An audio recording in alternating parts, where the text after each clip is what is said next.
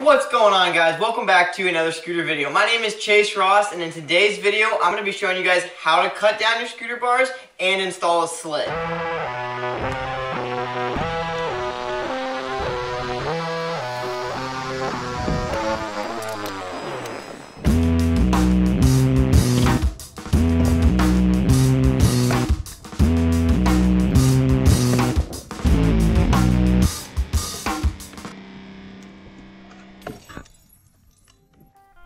Today we have a pair of the Rapture Pro Scooters Yang 2.0 bars, and this process is going to be identical if you have titanium, steel, or aluminum bars. Today we have a pair of titanium bars, so let's go ahead and jump over to this table over here, put some marks on the bars before we make any cuts.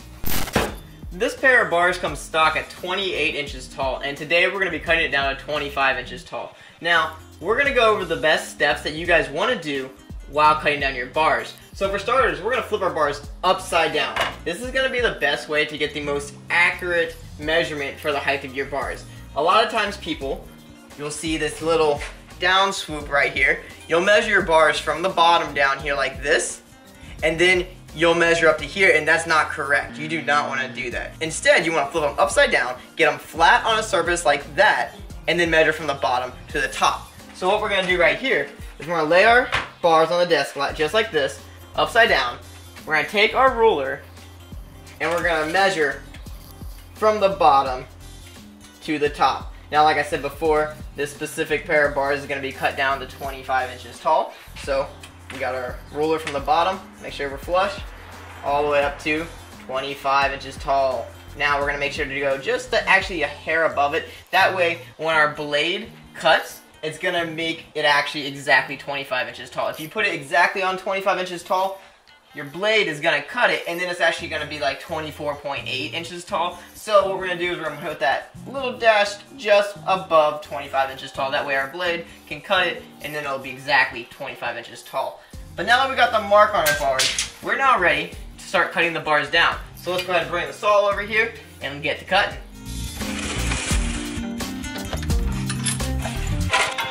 Now, like I said before, because we got this mark right here slightly above 20.5, we can actually take this blade directly down onto the mark and not have to worry about cutting it any shorter than 25 inches. So that's something you guys should definitely consider doing.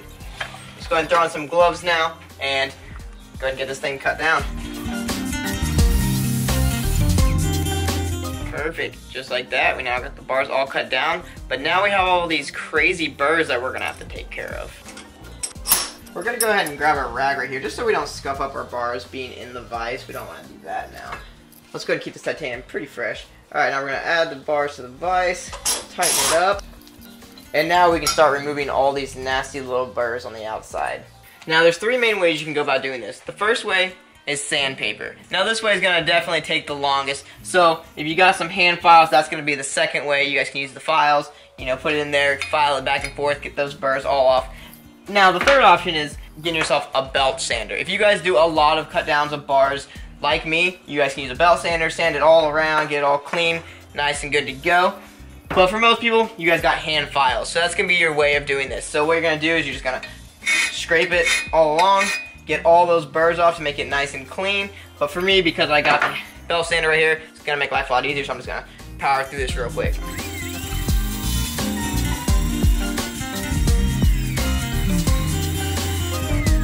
Alright, now that we got the burrs on the outside removed, let's go ahead and worry about these burrs on the inside. So we're going to take a good old pair of pliers right here, and we're going to start just getting these burrs out. Now, if you guys have steel or aluminum bars, these burrs are not going to be a big issue. You won't have to really worry about removing them because more than likely when you cut them, they're not going to be there. Just titanium is pretty special when it comes to cutting, so that's another reason we have to do that for there.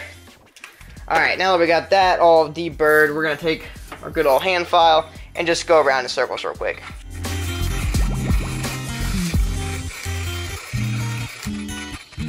All right, just like that, now we have the middle all good. We're gonna run the file around one more time around the outside. Perfect. Now, if you guys are writing SCS, you're done. Because you don't need a slit in your bars, you guys are now able to just slide the bars into your SCS clamp, clamp it up, and you're good to go. But because these bars are gonna be ridden with HIC, we're gonna need to add a slit into these bars. Now, I really wanna make an important step right here.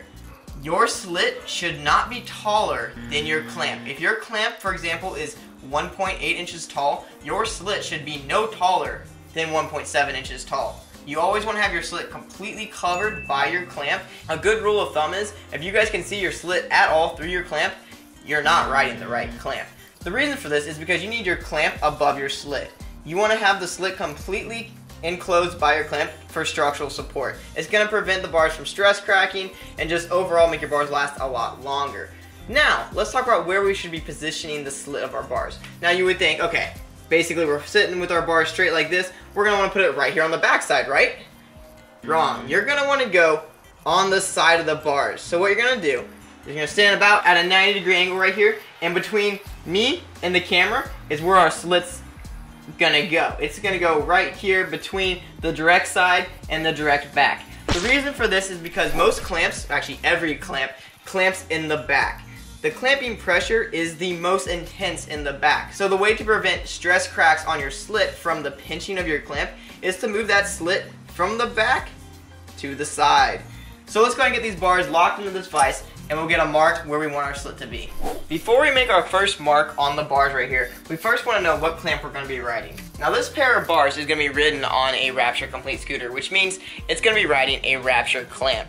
And I know these clamps are 1.8 inches tall. If we pull a ruler up to here, you guys can do this to your clamps at home. You guys can measure and see exactly how tall your clamp is. This one, it comes in at 1.8 inches tall, which means our slit should not be any taller than 1.7 inches tall. So what I'm gonna do right here is I'm gonna measure it up and I'm gonna actually put the dot at 1.5 inches tall. Now the reason I'm gonna put it at 1.5 inches tall is because when we drill our hole with our drill bit right here, that drill bit hole is actually gonna go a little bit above an inch and a half. So that's gonna make up the perfect difference in space for our slit. Now right here, I'm gonna go ahead and grab a marker we're gonna make a mark on the side of the bars. Again, I gotta, can't stress this enough. The slit needs to go on the side of the bars. That's so important. So we're gonna go ahead and put this dot right here on the side of the bars at an inch and a half. Perfect, now we're ready to drill the hole in the bars. When we drill our first hole, we wanna make sure that we start out with one of the smallest drill bits we have and then work our way up in size to get to our desired hole size. Now we're gonna be finishing our hole with the size 1 fourth do not ever go any bigger than the size 1 4th. If you go bigger than the size 1 4th, your hole is going to be too big and it's going to over consume your bars. So 1 4th I found is the best optimal size for this. So what we're going to do is we're going to grab our drill. We're going to start with a nice small size drill bit and we're going to go ahead and start drilling our hole. Now if you notice that your drill bit starts moving around on your bars while you're drilling it, one thing you can do is you can use either a screwdriver or a punch and just lightly tap it on just like this that right there will leave just enough of a mark. That way you guys can set your drill bit in it perfectly just like this and it won't rock around on you. But now let's go and get this hole drilled.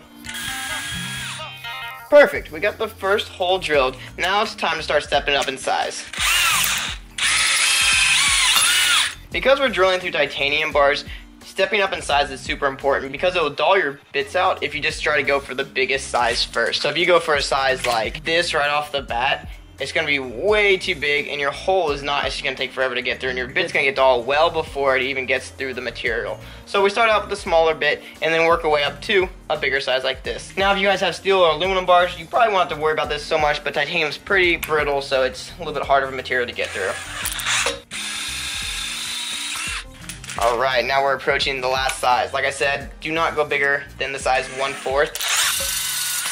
Perfect. Our slit hole is complete. Before we move our bars over to the saw, let's go ahead and draw a line right here just so we can have a nice little guide path so we know where the blade needs to go. Now the easiest way I've found to draw the line is to take something like a right angle right here and you see this little lip? We're to take this little lip right here and put it just on the side of the bars right here. This is to give us a perfect straight line when it comes to drawing a line on a circle. It's really hard to get a perfect straight line, especially if you're doing it by hand. That is just like not gonna happen. So what we're gonna do right here is we're gonna put our right angle up against there like this, draw our line, go ahead and draw just a nice thick line on here just so we can get see it clear as day when it comes to actually cutting it. Perfect. Now we have a nice line that we can follow as a guide when we're cutting our actual slit. Now before we move the bars over to the saw over here, let's talk about this hole again. Like I said before, you want to make sure that your hole is just below your slit. So just like this, you guys can tell there is at least a quarter of an inch between the hole and the top of my clamp. This is going to be perfect because now your slit is fully covered by the clamp. Your clamp is protecting the bars. So if you have any questions about this, you guys can go down in the comments. And I'm always happy to answer any questions you guys have. It doesn't have to be bar related. If you guys have a specific question that's scooter related, drop it down in the comments below. Alright, let me give you guys one more tip now before we go and actually start cutting this slit. We want to make sure that we're going to protect this hole. So sometimes when you're cutting the slit, you can get a little crazy and the blade can get away from you and it'll nick the top of this hole. Now that's going to completely disregard the whole reason why we put the hole here in the first place. The hole right here is to distribute weight and pressure. That way it doesn't start pressure cracking all around the top right here. So this hole, we got to protect it. So I'm to take an old screw right here, place it right here, and then we're to grab some electrical tape, run it around the one side, and then we're to run it around the other side right here. And then we'll loop it back one more time. Perfect. Now right here we have a nice little protection of this hole so if our blade gets a little carried away from us it'll stop it right here before we actually get to the top. That way we don't put any nicks in the top part of the hole. This is only precautionary. You guys do not have to do this step, but this is something I just like to do because I cut so many slits each day and it just makes my life a lot easier. Now we're ready to go take it over to the saw and let's get cutting.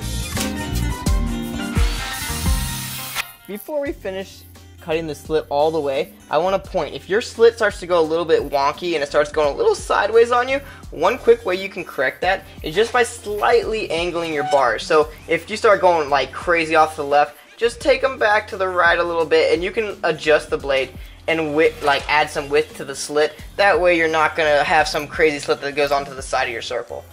Just wanted to point that out before we finish this slit, but now let's go ahead and get this thing cut the rest of the way. Perfect. Ah, you gotta love the smell of fresh titanium in the morning.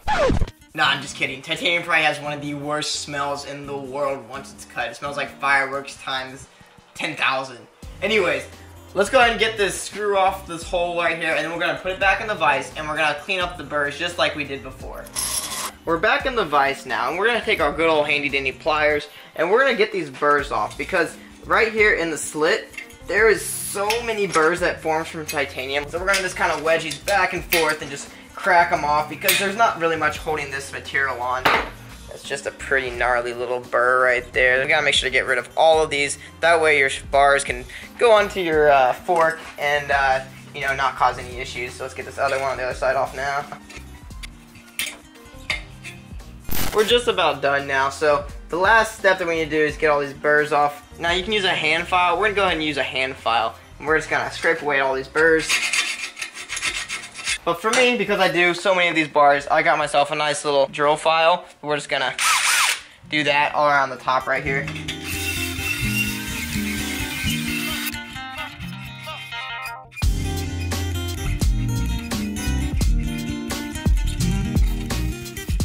At this point right here, you guys are practically done. But I always like to do one last little finish check, run my finger all around, make sure I don't feel any sharp burrs, anything that's gonna like basically keep your fork from sliding on perfectly. And uh, we don't wanna nick our fork shims at all, so we wanna make sure that everything's nice and smooth. I always like to take maybe a little scrap piece of grip tape right here or just uh, some sandpaper and just file around. I always like to use some scrap grip tape just because it's sticky on the back and I can stick my finger to it and it acts as like a own little file. I'm just gonna run my fingers up through there make sure I get rid of any last micro burr.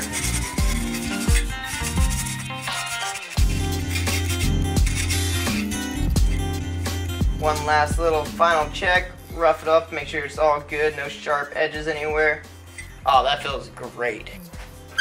And just like that, our bars have now been successfully cut down and a slit has been added in. Now, I did not touch on cutting down the width of your bars. This is going to be identical to cutting down the length of your bars, so I felt like it wasn't necessarily needed to be added into this video because it was kind of identical steps. All you do is cut it, file it, make sure there's no rough burrs, and you're good to go. But that right there is going to wrap up today's tutorial on how to cut down your bars and install a slit. These were titanium bars, but like I said, you can also do this on steel and aluminum bars. The process is exactly the same. Now, if you guys don't want to mess around with cutting down your own bars and adding your own slits, because I'm not going to lie, it's definitely not the fastest process in building a scooter. If anything, it might be one of the longest ones. You guys can head to RaptureProScooters.com. You guys can add the Rapture bars to your cart. You guys can pick whatever size, length, and width you guys want. And if you want a slit or no slit for SCS, up to you. You guys can add that to your cart, check it out, and we will install the slit and cut down your bars just like we did today. But that right there is going to wrap up today's video. If you guys have any scooter related questions, make sure to drop them down below in the comments. I'll be down there ready to answer any questions that you guys can fire at me. But that right there is going to do it for today. I'll catch you guys in the next one. Later.